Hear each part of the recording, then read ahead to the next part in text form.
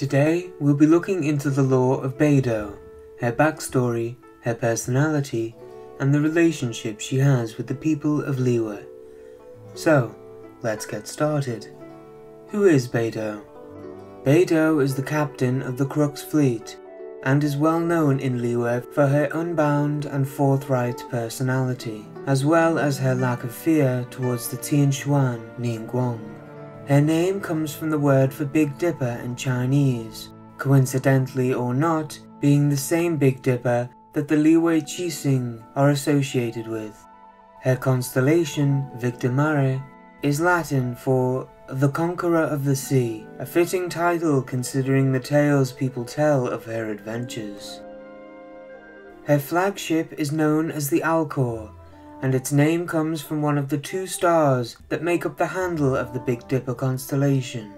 It is currently docked at the Sea of Clouds, south of Guyun Stone Forest, as Beidou has returned to Liyue Harbor for business, leaving her crew to take care of it in her absence. She loves to eat, drink, and have a good time with her crew, even having three day celebratory banquets after returning home to Liyue Harbor from long voyages. Though she is known for her fearless and forthright attitude, many mistake this for her being heartless or overly aggressive without reason. The truth is that she has a big heart and would do anything for her crew and those she views as in need as her character story shows. With the Crux having made a name for itself over many years, their services are extremely expensive to charter. And yet, on one voyage, when the vessel encountered a strong storm, Beidou noticed a small private boat nearby. Seeing the way it was tossed about by the waves, she ordered her crew to tow the boat to safety, despite the risk her ship's keel might collapse. What little food and water the fleet had left, Beidou shared with the rescue crew as she navigated her vessel onward through the raging storm. Finally, after several days, the Crux delivered the rescue boat to a safe mooring spot. Grateful to Beidou for saving their lives, the crew of the rescue boat became her loyal trade partners thereafter, and many who know her personally only have good things to say about Beidou. Ganyu seems to be quite protective of her, as she says. Recently, everyone in Yujing Terrace has been saying nasty things about the Crux fleet. But in my personal opinion, Beidou's contribution to Liyue Harbor goes far beyond what those miserable, rumor-loving heathens could even contemplate. Oops, I'm sorry, I...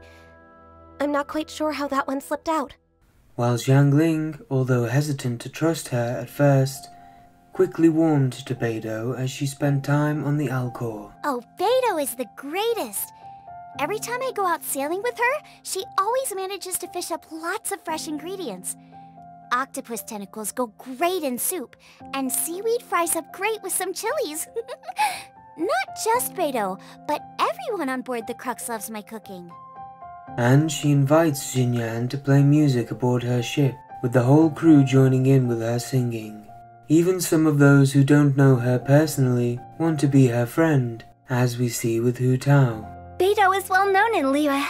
She doesn't know me, but that's cool. Me just knowing about her is enough. Oh man, I really do want to make friends with her. Beidou and her crew have also raised little Yue, after his parents, who were members of the Crux fleet, died during an expedition. He's become so inspired by Beidou that he has decided to create his own fleet when he grows up, wanting to call them the Cygnus fleet. Though she has refused to take him on their voyages, he has currently secretly stowed himself away aboard the Alcor, getting an earful from Juza, the chief mate, when he was discovered. Yao Yao is also always sneaking aboard the Alcor to spend more time with Beidou and her crew, much to Ningguang's consternation, as we see in Beidou's voice lines. Yao Yao always comes on board to play when we're in the harbor. Trouble is, when it's time for her to go, she gives you the puppy eyes, and no one has the heart to send her away. Means we're always cutting it quite close by the time we manage to set sail. Why she helps people out is likely due to her having a hard childhood and life in general, as she says, You want to know why I help the common folk? Why not? Everyone has their low points in life. I don't really do anything other than help steer those who are truly lost towards a brighter future. I've been through some hard times.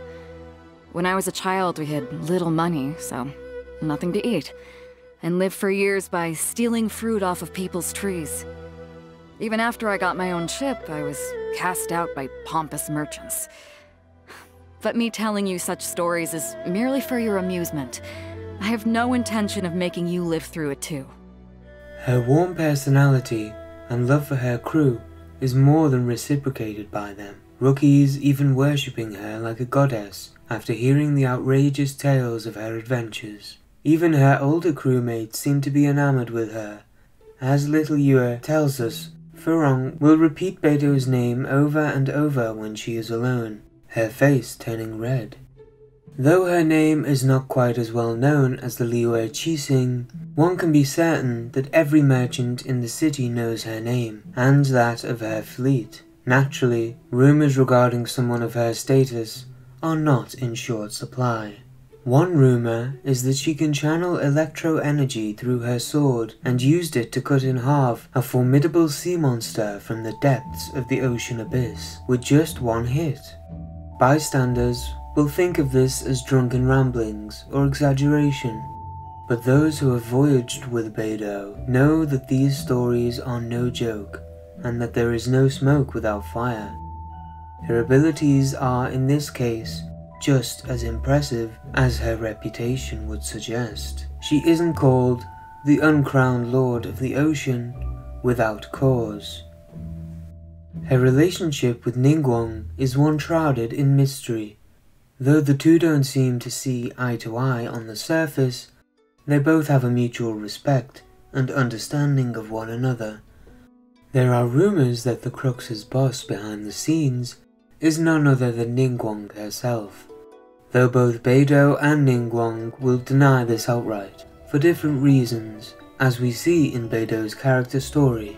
As a member of the Qixing, Ningguang often needs someone else to do her dirty work for her. Of the many candidates available, she picked Beidou. Ningguang would emphasize that she picked Beidou, not the Crux. Collaboration with the Crux is, therefore, purely incidental. Meanwhile, when Beidou hears the rumors about her dealings with Ningguang, she furiously insists that she collaborates on equal footing. Beidou is her own boss, and no one, not even Ningguang, is sitting in the background pulling the strings for her. Beidou is certainly unique among Ningguang's collaborators. She does not tread carefully or show reverence in the way most of them do. In fact, one could even say Beidou is sometimes at odds with Ningguang. Ningguang's advisors worry constantly that Beidou is too unpredictable and too much of a maverick, but Ningguang simply smiles and dismisses their concerns. On the contrary, Beidou is the most reliable person in Liyue. She replies, Just tell her the truth, as well as what's in it for her, and she'll come around in her own time. And they seem to be on a similar intellectual level, as the pier labourer's gossip says. Beidou has beaten Ningguang at chess. Twice. The important part is not so much that she did win Ningguang's money, but more so that she dared to. With both women enjoying a challenge, it is not surprising that their strong personalities would have them grow to respect one another, especially as most people they deal with are afraid to challenge either of them. One challenge Beidou is often pitting herself against is the open ocean. The wild weather and waves are vast enough to destroy fleets with ease, as she is more than aware of. But the tales of great monsters rising from the depths are the most talked about in hushed tones as she walks by especially the tale of Haishan. Beidou's meeting with this leviathan was also the encounter which granted her her vision, as we see in her character story. Liyue and Inazuma share a common saying, its fins formed the deep ocean, its tail the mountains high, which over time became sung by sailors over and over until it became the well-known song people know today. They say that whenever the mists gather over the sea's surface, one can hear the distant song of the fishermen hidden within the white shroud. This was Beidou's childhood lullaby. The tale of Rex Lapis smiting the sea monsters had become legendary among the people of Liyue. As a child, Beidou loved such tales, and in her dreams she thought, I too should like to see this giant fish. This day, however, she sang this song with a different emotion in her heart. Her entire crew sang along as they sailed. Haishan was in the waters with them.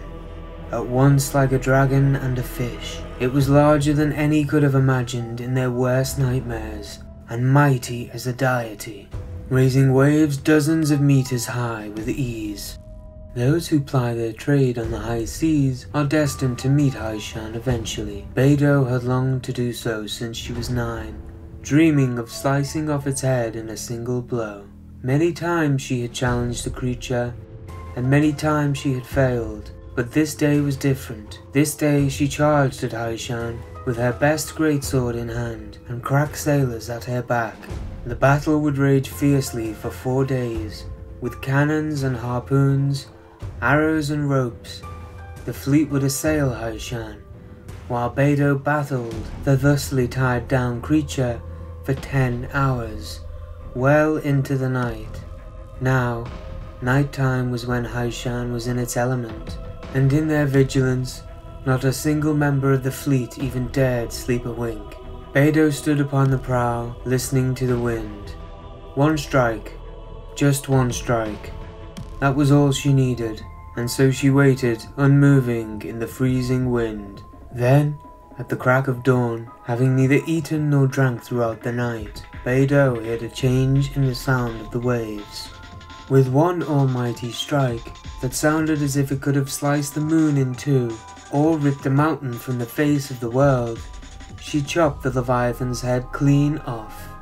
The sound of thunder filled the heavens, and a single bolt of purple lightning struck the ocean right in front of Beidou, even as she bathed in the blood of her nemesis. Thus descended a vision to the slayer of the sea monster, its violet glow as stunning as lightning, and its immaculate jeweled form a treasure more precious than dragon blood, a suitably divine gift for the hero who subdued Haishan. So, what is next for Beidou? Though we have yet to have a character quest for her, many believe that she will be the one to take us to Inazuma, likely due to her being the only one brave enough to approach such a dangerous place, as the Shogun is not allowing anyone to leave or enter the nation. Perhaps we will even get to see Beidou face off against another great sea monster on our journey over And that's all I could find on Beidou. If you've made it this far into the video, thank you for watching and I hope you enjoyed it. If you did, consider liking or subscribing to let me know, and if you have any suggestions or ideas, let me know in the comments section below. I hope you have a great day.